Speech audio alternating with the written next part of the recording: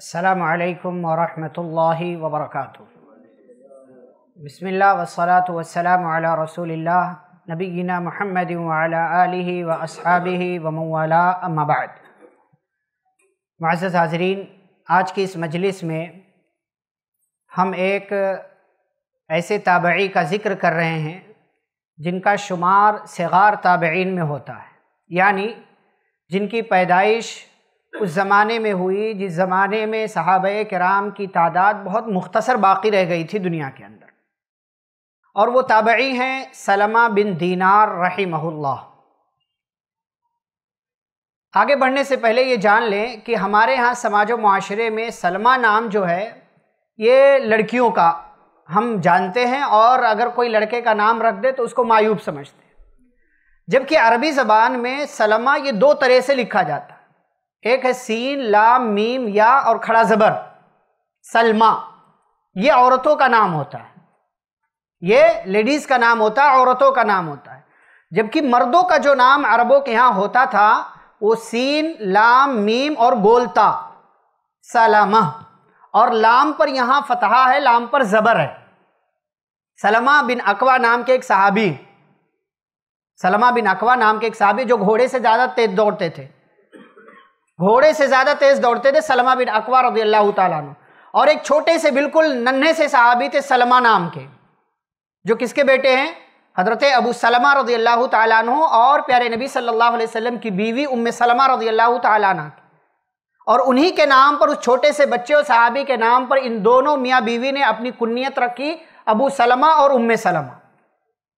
हिजरत के मौके से जो सबसे पहले मुहाजिर अबू सलमा रज़ी अल्लाह तु मदीना जाने लगे तो रिश्तेदार आए और ससुराल वाले अपनी बच्ची को लेकर के चले गए और ददियाल वाले जो है पोते को लेकर के चले गए और हज़रत अबू सलमा रदी अल्लाह को अकेले मदीना की जानब हिजरत करना पड़ा। तो सलमा ये मर्द का भी नाम होता है, औरत का भी नाम होता है। लेकिन दोनों में फ़र्क क्या है कि मर्द वाला जो सलमा नाम है, उस पर लाम पर ज़बर और फतहा होता है और आखिर में गोलता लिखी जाती। जबकि औरत वाले में क्या है, लाम को सुकून पड़ते हैं, सलमा। और साथ में आखिर में या होती है और उस पर खड़ा ज़बर लिखा जाता है। ये दोनों में फ़र्क है। इस फ़र्क को समझना चाहिए। तो सलमा, आप लड़के का नाम रख सकते हैं, लेकिन उसके लिखने की और बोलने की कैफियत दूसरी होगी। आप लड़की का भी नाम रख सकते हैं, लेकिन उसके लिखने और बोलने की कैफियत दूसरी होगी। तो सलमा बिन दीनार रहीमहुल्लाह का तस्करा आज की इस मजलिस में हम कर रहे हैं। इनके वालिद जो थे, वो ईरानी थे, जिनका नाम दीनार था। दीनार तो उस जमाने में सोने के सिक्के को बोला जाता था, लेकिन अरबों के यहाँ ये राइज था। जबकि ईरानी जो है वो अरबी नहीं है, अजमी शुमार किए जाते हैं। अरब में नहीं आता ईरान। वो अजमी थे तो उनके यहाँ उसका और माना रहा होगा। तो दीनार इनके वालिद का नाम था और इनकी माँ रूमी थी, रोम के रहने वाली थी। ईरान और रोम दोनों उस वक्त की दो सुपर पावर ताकतें हैं। ईरान के इनके वालिद थे और रोम के इनकी वालिदा थी, इनकी माँ थी। इनकी कुन्नियत अबू हाजिम है, मखजूमी कहलाते गोया कि Abu Hazim Salama bin Dinar Makhzumi रहीमहुल्लाह। कब पैदा हुए इस हवाले से कोई तफसील नहीं मिली। अलबत्त ये अंदाज़ा लगाया जा सकता है कि सत्तर हिजरी या अस्सी हिजरी के आसपास पैदा हुए, इसलिए कि ने इनको सगार ताबेन में शुमार किया है। वो ताबेन जिन्होंने सहाबा का ज़माना तो पाया, लेकिन बिल्कुल अखीर अखीर में, अखीर अखीर में उनकी पैदाइश हुई और उस ज़माने में वो पैदा हुए। सलमा बिन दीनार रही जैसा कि मैंने कहा, अजमी थे। अजमी थे, अरबी नहीं थे। लेकिन इस्लाम के यहाँ इस तरह की कोई तमीज़ नहीं है, कोई फ़र्क नहीं है कि आजमी का मकाम नीचा होता है, अरबी का मकाम ऊँचा होता है। और आजमी होने के बावजूद इतना ऊँचा मकाम हासिल किया कि मदीना के मशहूर उलमा में हज़रत सलमा बिन दीनार रहीमल्ला का तस्करा किया जाता मदीना के जो मशहूर उलमा थे हफिज़ाबी रहीमल्ला ने, ऐसे ही इमाम नववी रहीमल्ला जो बड़े बड़े अइम्मा हैं, इन लोगों ने सलमा बिन दीनार रहीमल्ला का नाम मदीना के उलमा में, बड़े उलमा में शुमार किया है। ऐसे ही इनके फजल और इनके कमाल के बारे में जानने के लिए बात काफ़ी है कि इमाम बुखारी रहीमल्ला ने अपनी सही के अंदर, सही बुखारी के अंदर जो अहादीस ज़िक्र की हैं, उन अहादीस के जो रावी हैं, उन रावियों की जो सनदें हैं, उन्हीं में एक मशहूर रावी जो हैं, सलमा बिन दीनार रहीमल्ला सलमा बिन, जिनके वास्ते से इमाम बुखारी रहीमल्ला ने सही बुखारी के अंदर हदीस दर्ज की है। गोया कि सलमा बिन दीनार रहीमहुल्लाह मुहद्दिस भी थे और उनके ज़रिए बाद में आने वाले लोगों ने हदीस रिवायत की हैं। ये सही बुखारी के भी रावी हैं और सही मुस्लिम के भी रावी हैं। इमाम सलमा बिन दीनार रहीमहुल्लाह। ऐसे ही मदीना के जो मशहूर फ़कीह थे, जिनके यहाँ कुरान हदीस की बहुत ज़्यादा समझ थी, फ़कीह जो कहलाते थे, उन्हीं में एक नाम सलमा बिन दीनार रहीमहुल्लाह का भी है। और इबादतें इतनी ज़्यादा करते थे कि लोगों के दरमियान मशहूर हो गए थे कि ये जाहिद हैं। उनका नाम ही लोगों ने जाहिद रख दिया था। जाहिद, यानी दुनिया से कट करके अल्लाह के इबादत में मशगूल रहने वाला। हाफिज इबन हजर रहीम ने इनको जाहिद ही लिखा है। हाफिज जाबी रहीम ने इनको जाहिद लिखा है। यानी इनके नाम के बजाय तारुफ के लिए इंट्रोडक्शन के लिए कि फला बंदा कौन है तो उनको जाहिद बोल दिया जाता था। सलमा बिन दिनार रहीमउल्लाह को बाज दफ़ा उनके नाम के बजाय लोग जाहिद कह करके पुकारा करते थे कि इबादतों में बहुत ज़्यादा ये आगे बढ़े हुए हैं। ऐसे ही कुरान हदीस का इतना इल्म हासिल किया कि उससे मसाइल ऐसे निकालते थे कि बाज़ दफ़ा हमत की बातें बड़ी अजीब व गरीब अंदाज में किया करते थे। बड़ी अजीब व गरीब अंदाज में। हमत की बातें इनकी बड़ी मशहूर हैं। हकीमाना मकूले इनके बहुत मशहूर हैं। इनके हवाले से एक जो है, मकूला एक जुमला, एक मशहूर ये है कि लोगों को नसीहत करते थे तो कहते थे कि अगर मौत के बाद की सख्तियों से बचना चाहते हो तो मौत से पहले उन तमाम चीज़ों से दूर रहो जिनकी वजह से तुम्हें मौत के बाद मुसीबत में डाल दिया जाएगा। कहते थे, मौत के बाद की मुसीबतों से बचना चाहते हो तो अपने अंदर अगर एहसास है तो बचना आसान है। कैसे? इसलिए कि तुम अपने ऊपर तकलीफ़ नहीं आने देना चाहते हो और मौत के बाद की तकालीफ, परेशानियाँ सबसे ज़्यादा सख्त होती हैं, उनसे बचना है तो उन चीज़ों से दूर रहो जिनकी वजह से मुसीबतें आया करती हैं। और एक जुमला ये कहा करते थे, जो बड़ा मशहूर जुमला है।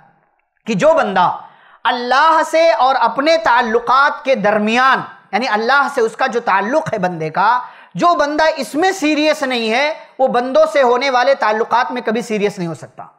यानी जो अल्लाह से किए गए जो ताल्लुक है, उसका रिलेशन है, जो कांटेक्ट है अल्लाह से, इसमें अगर वो कोताही कर रहा है तो बंदों के ताल्लुक से भी वो कोताही करेगा। और जो बंदा अल्लाह से किए गए अहदो पैमान को, ताल्लुक को और हुकूक को पूरा कर रहा है, वो बंदा हर हाल में लोगों के भी हुकूक को अदा करने वाला होगा।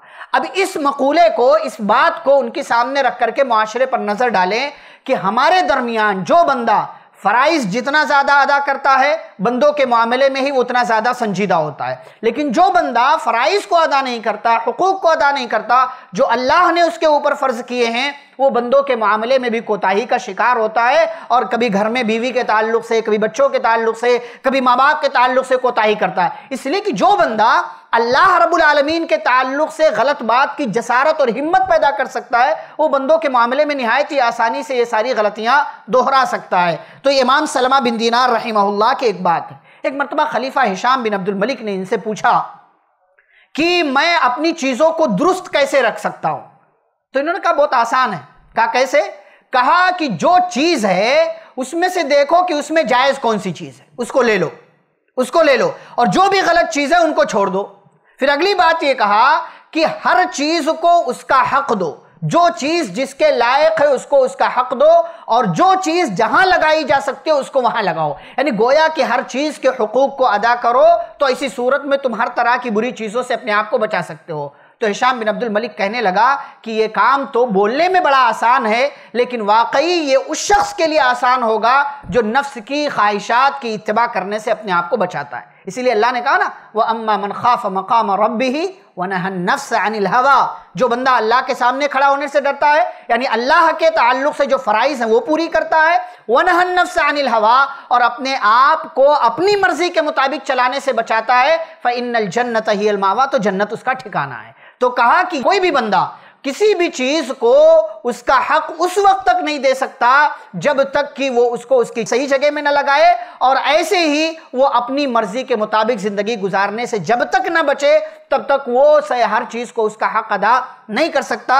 तो बहरहाल, ये इमाम सलमा बिन दीनार रहीमहुल्ला, जो सिगार ताबईन में शुमार होते हैं, मदीना के अंदर एक लंबी ज़िंदगी गुजारी और अलमा ने लिखा है, बाज़ ने कहा एक सौ चौंतीस हिजरी, बाज़ ने कहा एक सौ चालीस हिजरी, बाज़ ने कहा वन फोर्टी फोर हिजरी में इमाम सलमा बिन दीनार रहीमहुल्ला की वफ़ात हो गई, जो सही बुखारी के, सही मुस्लिम के मुहदस हैं और इनके हवाले से कई एक हदीस इमाम बुखारी और इमाम मुस्लिम रहीमल्ला ने अपनी अपनी किताबों के अंदर दर्ज की है। अल्लाह रबुल्ज़त से दुआ है, अल्लाह हम सभी को हर किस्म की गलत चीज़ों से दूर रहने और सही चीज़ों को अपनाने और हर चीज़ को उसका हक अदा करने की तोफ़ी अता फ़रमाए। आमीन। वसल्ला नबी करीम। वालकम वरहमल वर्का ऐसे ही फ़ायदेमंद इस्लामिक वीडियोस देखने और मनहज सलफ पर किताब सुन्नत की तालीमत को आम करने में हमारा ताउन करें ताकि आपके लिए ज़रिया नजात, जन्नत के हसूल का सबब, साथ ही माल में बरकत व इजाफे का ज़रिया भी बने। आमीन।